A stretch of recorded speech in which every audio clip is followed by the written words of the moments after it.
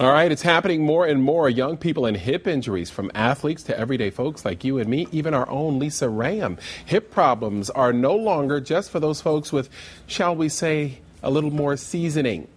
Here with us this morning, Dr. Jon Hyman to tell us more. And, Doctor, we used to hear about grandma falling and breaking a hip or grandpa falling. It's not just for folks with a little age on them anymore. This happens more and more often, and, and we constantly hear about it. That's right. We're seeing a lot more hip problems in teenagers and adolescents and people involved in sports mm-hmm. of a high intensity level uh, earlier in life. And we're learning a lot more about the problems that come about in hips too, so that we can help prevent people from ultimately going on to need hip replacement. Yeah, I just had a friend, he's about 46, 47, had a hip replacement from an injury he suffered in high school. Um, Lisa Rayam, as we mentioned, just had hers uh, replaced as well. Um, is there a reason? Are we more active than we were previously? Is that why we're seeing maybe uh, more pressure put on the joint?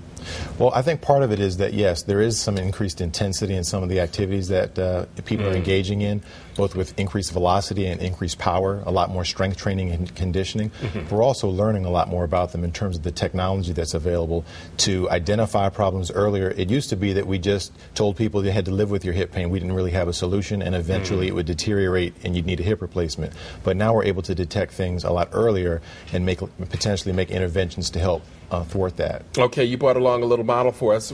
Show us the model while we talk about some of the common hip injuries. Right. So, you know, the hip uh, from an orthopedic perspective, is really comprised of the, the pelvic bone mm-hmm. uh, and the proximal femur, or the upper part of the thigh. And it's it's mainly, if you zoom in on that, you can see that there's a, a ball of the femoral head, which is cartilage, and then it goes mm-hmm. into a socket, which is okay. also cartilage, and then there's this ring of cartilage cushion around it called the labrum. And a lot of people will impact that with a with Ooh. a forced repetitive flexion or from repetitive torque and rotation from running or jumping. They'll actually damage that tissue. Uh-huh. And and we think that if we're able to identify that early, we can fix it and prevent the ongoing deterioration. And that's something we're doing now with a keyhole surgery called arthroscopic surgery, where we mm-hmm. insert a small camera and okay. figure that out. And take a look. Okay. So, how do we avoid some of these hip injuries? Because we just saw Venus Williams withdraw from a tennis tournament earlier this year um, with a serious hip injury. How do we avoid it?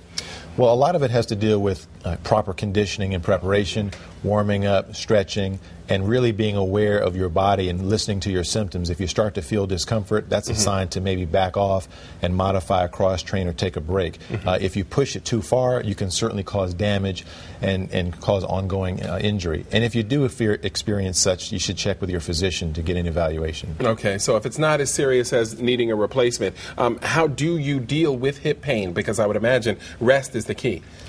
Yes, rest is the first line of defense and sometimes over the counter anti inflammatories. Okay. But if your symptoms persist for a week or two, oftentimes people will seek evaluation and they'll be referred for physical therapy or specific exercises with a therapist to help guide you through a healing process. And then occasionally there's injections uh, and things that are necessary also. Okay, here's our Lisa Rayam um, right after her hip replacement. And there have been such amazing advances now. She told me she was up and walking the same day. There she is doing some therapy. Um, you really don't have to fear hip replacement anymore.